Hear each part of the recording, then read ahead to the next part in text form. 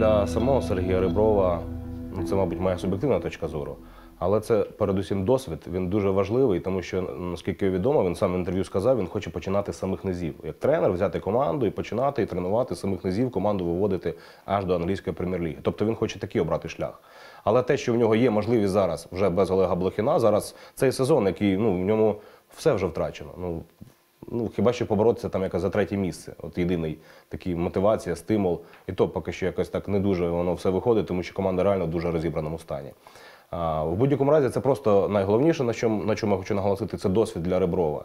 А, попрацювати із е, київським Динамо, із е, Грандом самостійно, і потім вже десь, можливо, е, після завершення сезону він щось із цього досвіду і візьме вже в своїй самостійній роботі. Якщо він реально хоче почати із самих низів і свій шлях турувати собі, от якби сам.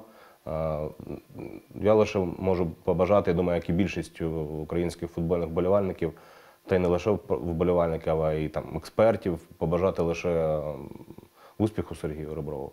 Тому що якщо він цього хоче, і якщо він дійсно ще й знає, е, як, е, як він це буде робити, і е, наскільки це складний шлях, то цей от якраз досвід йому наприкінці сезону в київському Динамо він знадобиться, я думаю. Він неоціненний буде.